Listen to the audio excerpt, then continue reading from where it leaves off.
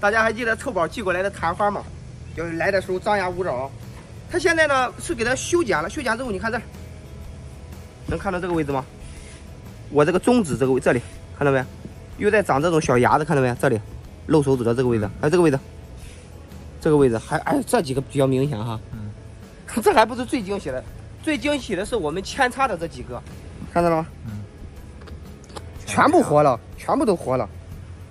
其实昙花呢是很好养的，像这种肉质的东西啊，你比方说蟹卵兰呀、长寿花呀、昙花呀、仙人掌、龙骨、仙人球，你都可以去用泥炭土的。有的花友总是持反对意见，说泥炭土养不活，这这那那的。你看这个龙骨，还有一个呢，我这个呢就是大家可以看到，有的花友说很难养，你看，我就基本上是直接就放到上面，这个呢是稍微埋进去。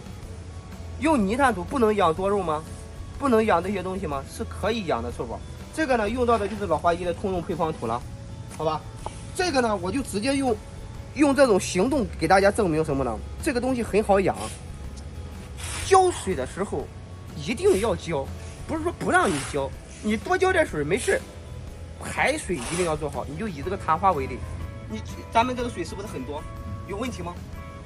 没有问题吧？它为什么没有问题？因为它这个透气呀，它不会沤根啊，通风够啊。这是去年花友寄过来的，寄过来的时候有有这么大一盆，现在分出来好多些盆。还那句话，泥炭土呢，不是说不能用，是完全 OK，完全可以用的，长得也会很好。这个是六月八号花友寄过来的周顶红，也是用的老花一的通用配方土。你看，这根系长得霸气吧？三颗啊，有两颗长根了。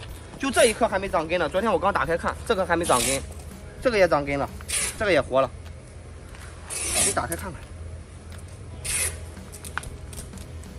厉害吧？嘿嘿，还有这个，还有这个小芦荟也活了，估计还没长根呢，不过长得比较慢。这几个大老桩同样，老花一的通用配方土啊，一袋是五斤，大概有十二升，用到的呢就是进口的纯泥炭。